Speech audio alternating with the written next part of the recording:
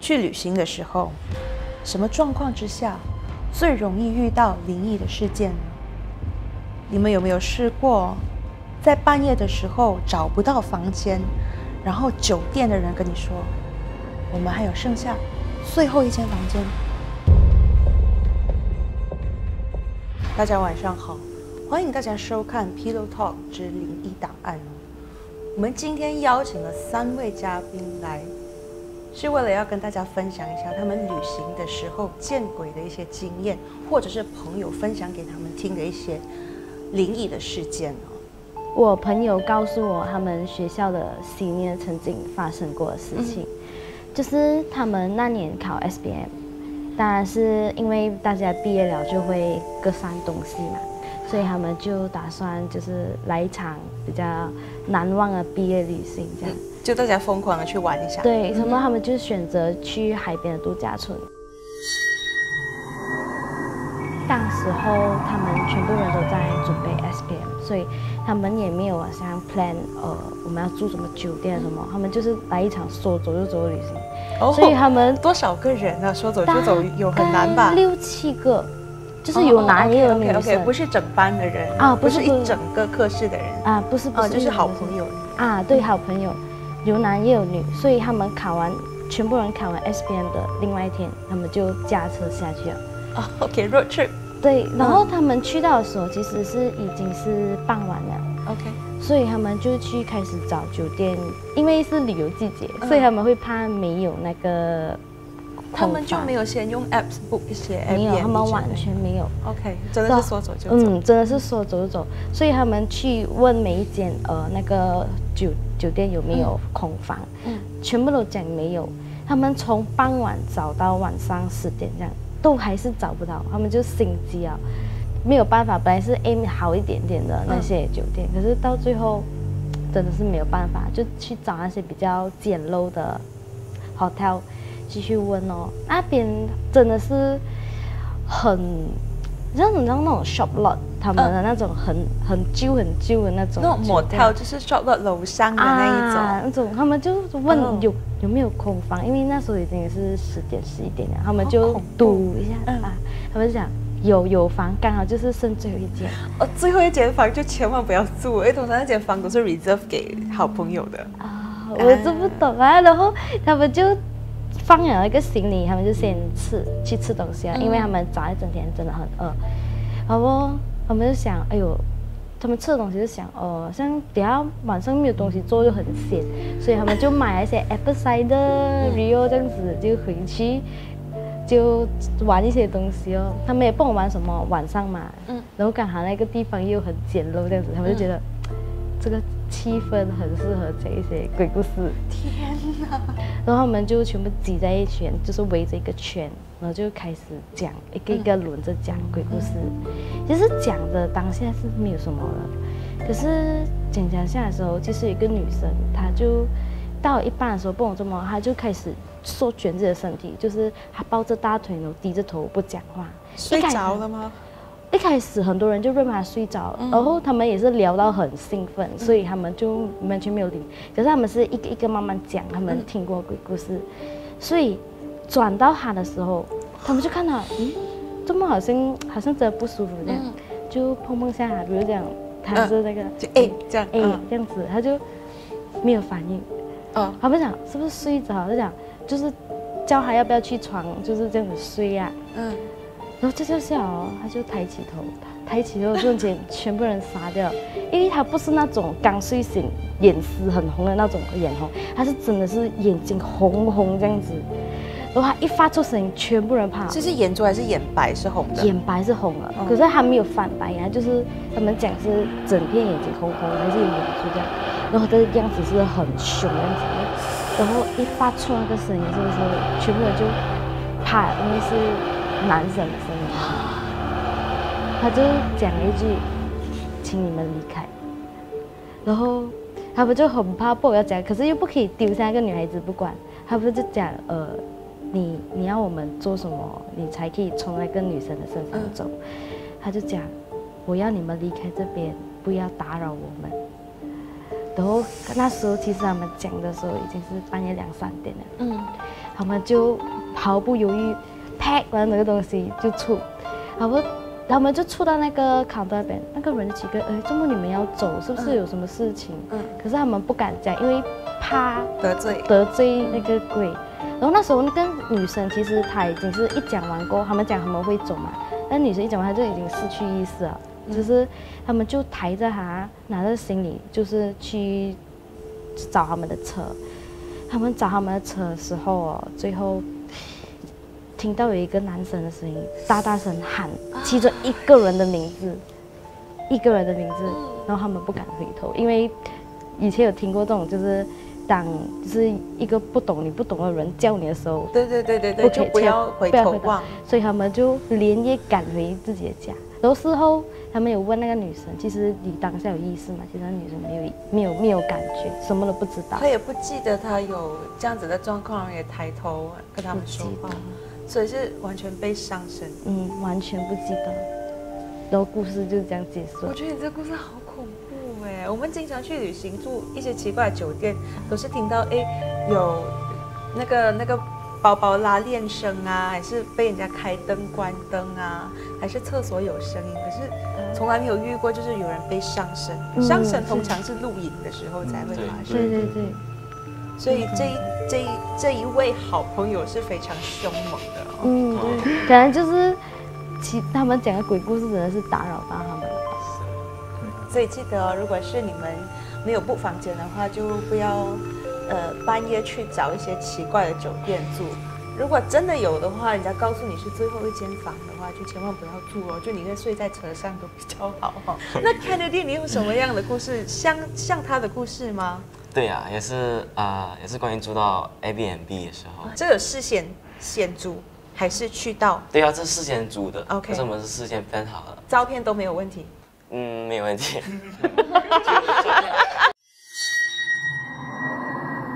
就很特殊一间房间，它墙壁都是白色的，很漂亮，嗯，很豪宅这样，嗯，所以我们就当成入住哦。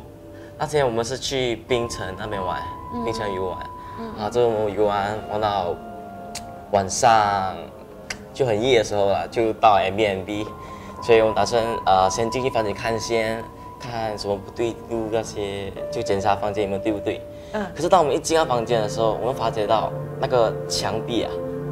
是灰色的，而且还有很多漏洞，就跟我们照片 A B N B 完全不同。那可以这样退钱呐？嗯，就虽然有一点失望吧，把都那么夜了，就 OK，就住进去了。好，嗯，都这样晚了，现在找 A B N B。有洞嘞，就算了啊。嗯，所以我们就呃打算把开把车开进去先，可是这里东西发生了，就就我们车打不到啊。我这么是车打不到，就刚刚好。之前都没有问题的。对，就我们到那边都车还可以用啊，都还在家，所以就开不到车。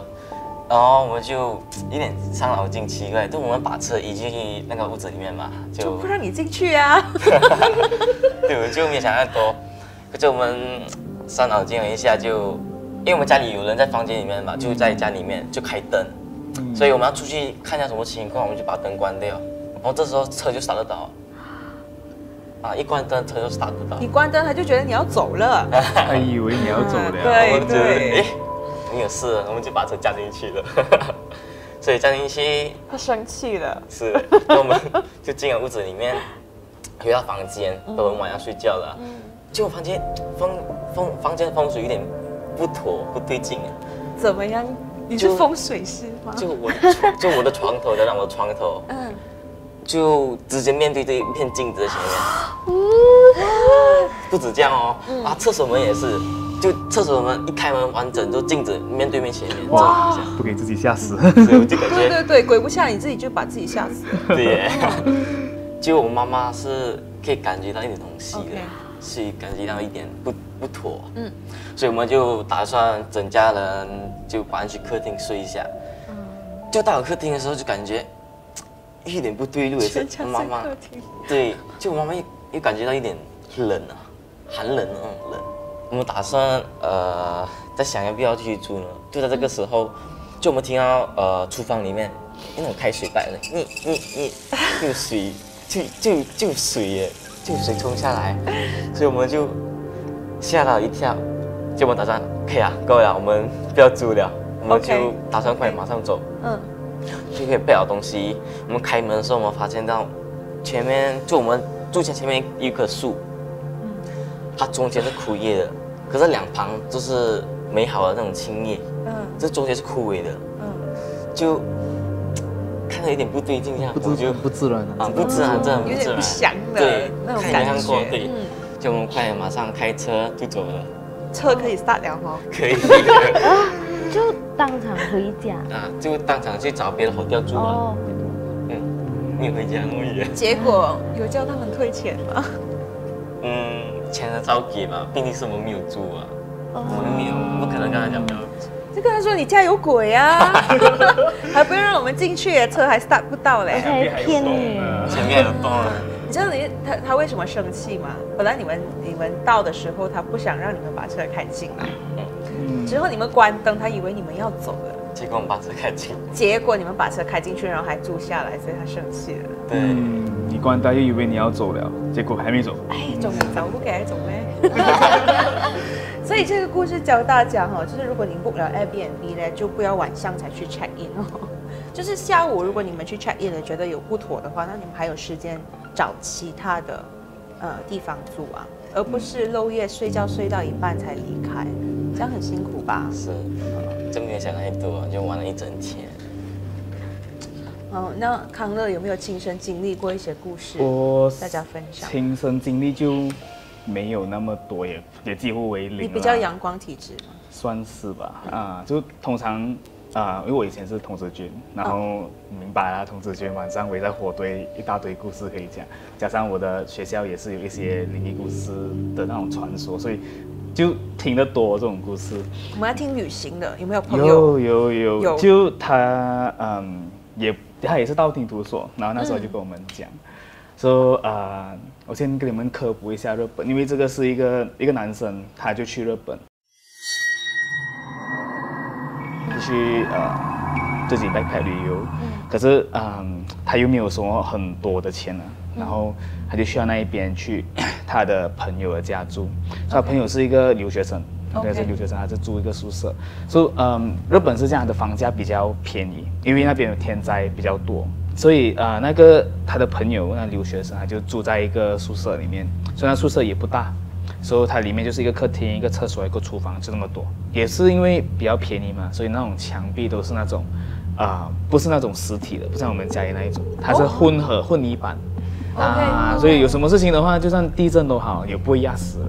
因为你叫人来维修这种地东西，一来没有什么钱，二来又要时间，所以有时候啊、发生一点地震啊，就有那种裂缝。所以为什么啊、很多的时候时候你去到一些比较便宜、住比较便宜屋子的日本人的家，他们会贴海报 OK，、啊，对，就遮掉那些裂缝。对对，呃，那个那个男生他就去啊他的朋友那边住，说、他的朋友呢是做兼职的，就白天读书，晚上做工。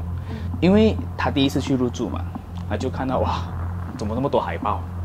结果他朋友就跟他解释哦，因为之前他来住的时候发生了一点小地震，所以有一些裂缝。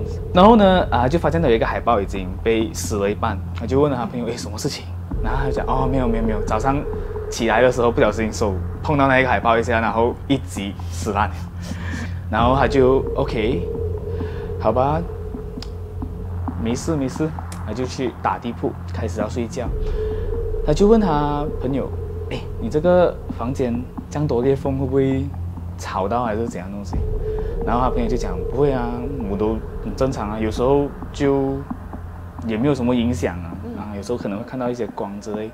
然后他就听到他讲光，诶，有光啊，他就往那一个裂缝那边看，他就讲，诶，你有看过隔壁的那一个房间是什么样？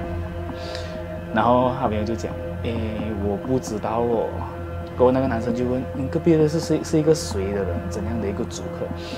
然后那他朋友就讲，哦，隔壁是一个女租客，然后他真的没有见过她。就他搬过来有半年时间都没有见过他，然后你懂啊，男生比较啊按耐不住，好奇好奇，对对对，好奇，他就把那一个眼睛哎往那一个裂缝看一看。所以它的裂缝是很大的，可以看到去隔壁的裂缝，嗯不是像我们平时墙上的裂缝那么小。都是穿透了啦，就是看到另一边。哇好严重啊对，所以那裂缝不是开玩笑，所以他才拿一个海报来遮，他就去看一看。然后他朋友看到他这个举动，哎你在做什么？他男生讲，你有看过这个洞吗？他朋友就想没有啊，没有像你这样八卦。然后那男生就讲，男生就很奇怪，周末里面红红啊。啊，OK，然后啊、那个男生，那个男生就奇怪，怎么红色的、啊？跟朋友讲，不要理啊，不要理啊，睡觉好了。然后第二天，因为啊、日本有一个礼仪，就去到一个地方住的话，你最好就是先给啊、邻居送上一个小礼物，就很像讲哦，我来了，请多多关照这个样子。他就去趁他去旅游这个时间，他就去买一个小小的礼物，想要去给他这一个临时的邻居。到晚上十一点多、十二点回到家了，他就要去敲个门，啊，就敲下门问，哎，有人在吗？不好意思，这样深夜打扰。可是他喊了两三次都没有人给回应，OK，过后还要走出来踢到一些邮箱，然后那种邮箱就是那种快递放在那边没有人认领，可是上面写的门牌就是那个女租客的那个房间的门牌，他就奇怪哇，这个有多宅女啊，什么都不要出来收，有些甚至是一个礼拜前，还然后他就觉得哦，还是不要想那么多，就把那个东西是我就想过多，然后搬走了。把礼物放在那一边啊。为什么呢？其实他那个时候对那一个裂缝有一点入耳膜的感觉。他放完那礼物，他就回家，刚好他朋友回来了，OK，就冲凉了，冲凉，吃东西了，吃东西。临睡之前，他还是有那个冲动就，我想再去看多一次。就着了魔啊，就想要去看一下那个是什么，就把他的那个头、那个眼睛往那个裂缝看，还是红。红红的来，就很像有一个黑点在中间。可是他又不懂怎样解释，他叫他朋友来看，他也解释不了。他也解释不了那种奇怪的感觉，他就拉朋友来看，他朋友就看没有啊，红红的，嗯，就很奇怪，两个就是什么东西红红的，不应该不可能是海豹，海豹不透光的，应该是看到黑色的，嗯就算是看到的话，也是看到一些灯光啊，还是看到一些嗯好看的场景，可是他就很奇怪，哎，就带着这个疑惑睡着，就第二天，嗯，他们就被一阵一阵声音吵醒了。过后，嗯，房东就敲门叫了他，嗯房东就跟他讲，哎，你们在家还没有去上班呢？还没有去读书吗？然后，嗯，他朋友就介绍了这个男生给房房主认识，房主就讲，哦，你好，你好，你好，就跟那一个男生讲一声抱歉，因为我们现在在收拾隔壁房的东西。然后那一个男生就问，哎，隔壁房什么事情啊？不是有一个女租客吗？为什么要收拾东西？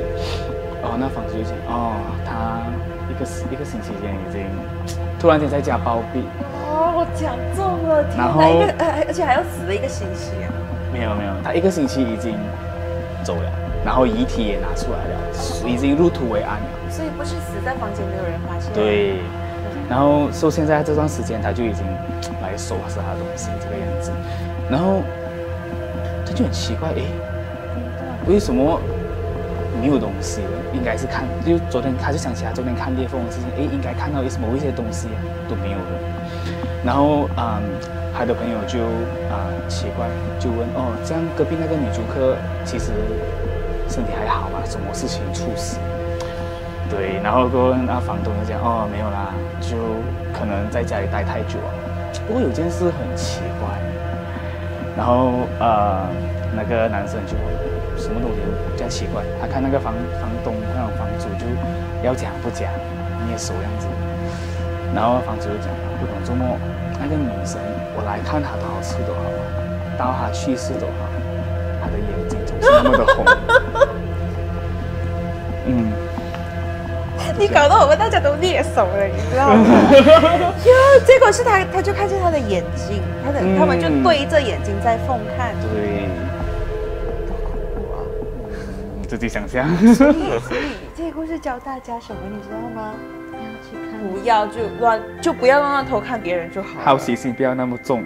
你你可以好奇呀、对你就正人君子一点，就去敲门，嗯，可是敲门了还是没有人回应啊。不是就是就不要乱乱看缝啊，就万一偷看到别人换衣还是怎么样，对不对？就直接嗯好奇就敲门，不要看缝，看缝就来。不然的话就他就瞪着你看。嗯，好，非常谢谢你们三位，呃，康乐、Kennedy 还有瑞莹来上节目。谢然谢后，然后，其实大家要记得哦、常常我去旅行的时候都会做一个动作，嗯是非常管用的。